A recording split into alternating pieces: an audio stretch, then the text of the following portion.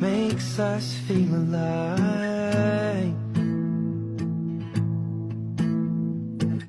We keep this love in a photograph